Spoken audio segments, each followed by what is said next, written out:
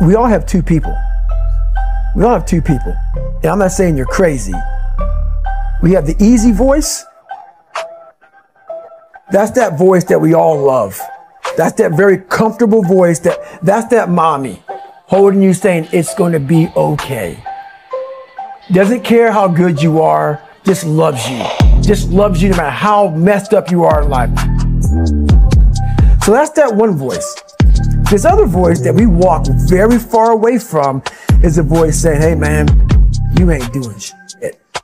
So we try to get this voice out of our head completely. And we live over here in this land.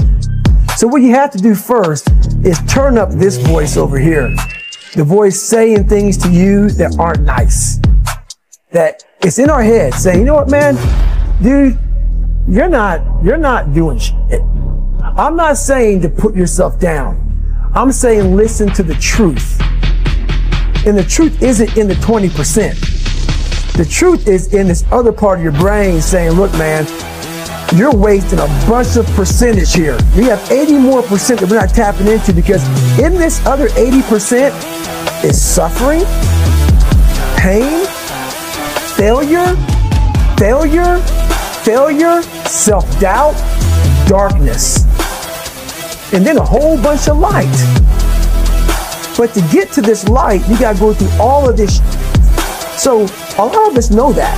I can get over here, but over here, man, this is much better because I gotta go through this journey that is not fun. This this from 20 to 100%, this shit in, the, in between is not fun. So we decided to live over here. So everybody goes, how do you do that? You know exactly how to do that. You know exactly. It's, it's not a magic trick. There's nothing I talk about that's a magic trick.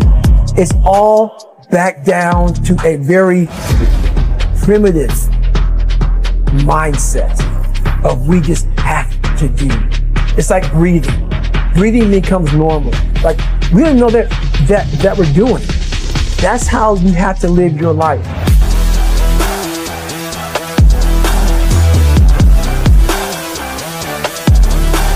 When that alarm clock goes off at four or five in the morning, your mind says no. You just say, this is what we do. It's what we do now. Because to get to where you want to go, the amount of pain involved, I'm not saying physical, I'm not saying you got to break yourself off. The amount of mental pain of how many times you're going to have to do something that you don't want to do to get to where you want to go. When I was 297 pounds and I was fat as hell trying to be a Navy SEAL, the scariest thing in the world to me, even to this day, was that that could have been the rest of my life. I thought then I was trying hard. That's the scariest thing in the world.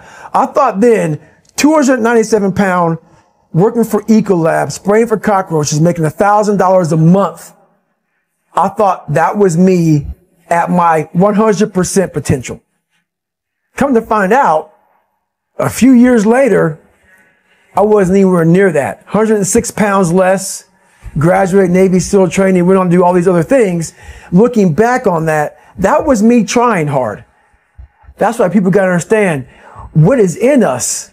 We have no idea until we start trying hard. And I mean really trying hard where you're obsessed with, hey, this is my new norm. My new norm is that, wow, this isn't always fun.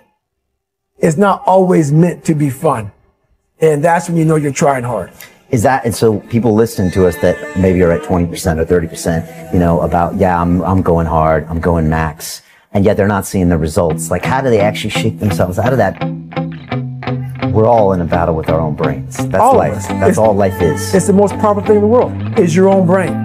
It can work for you or against you. And as, as opposed to focusing on all those bad things that happened, you, all the things you didn't have, the people that called you names, all the stuff you was doing again, and you start thinking, wait a second, I just visualized this, and now I can take to the next level, next level, because the visualization got you through SEAL. It did. And I was able to visualize the end.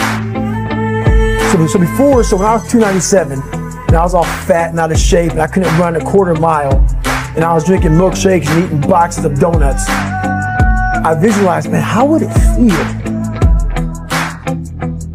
for a brief moment I was, so there was 22 guys that graduated. I watched this segment on TV about these guys going through Navy SEAL training.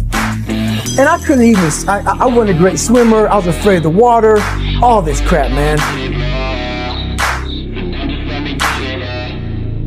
But at the very end, it says 22 guys. This commanding officer's up there and he gives this great speech. I was like, man, I wonder. So I started visualizing me being the 23rd guy in these dress whites, sitting there with these guys, getting that Navy SEAL, you know, graduating this Navy SEAL training. I was like, God. So I put myself there. I was like, man, that's, that's an amazing feeling.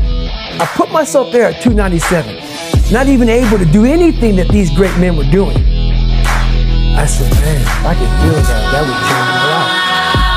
I could just feel that. One, it, it lasts for one second. You get that certificate, you walk across the stage, and what's next? But I didn't know that then. My mind wasn't, I thought I lived in that moment forever. So I said, wow, man, if I could just feel like that. I could feel like that. And what was that feeling you wanted so bad? No. Victory. I wanted to win not like beat somebody else. It wasn't about that. I, I, I just wanted to go the distance. Everything in my life, when something got hard, I quit. If it was reading, that's where you know I wasn't great at reading, I wasn't great at writing, so I just quit. I couldn't catch on as fast as you. I had to work harder than you, so I quit. You know, I wasn't great at things, so I quit. You know, I'm I'm not good at this. Like man, if I could just go that distance, that extra mile, to just go, just to finish. I want to finish. I want to feel victory. And victory for me wasn't winning, it was just finishing. So I said, you know what? If I could feel like these guys feel, it'll change my